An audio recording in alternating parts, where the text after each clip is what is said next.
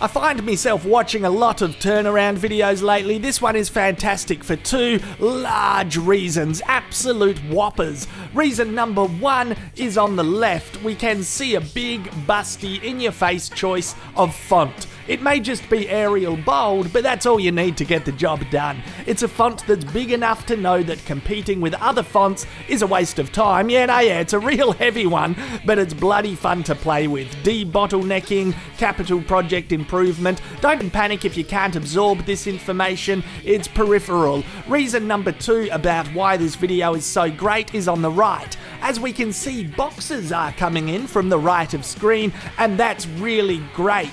It's some top notch visual effects work. I personally think it's important to give a box attention as well. You can't just focus on the font for up to an hour because it's more fun.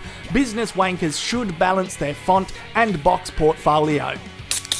We now appear to be in the North Pole or some shit. Basically, if you can invent a business like Santa Claus, you'll be a rich. But look, fellas, you don't have to have toys to be successful. Put the fucking toys down and have an open conversation with your partner or partners about whether or not they're happy to turn around. I love seeing turnaround, and many collaborators are fine to turn around if you let them know it's a great position. If you can do it floating, fucking more power to you. Anyway, I'm gonna go see if I can focus after this video and find a partner to turn around.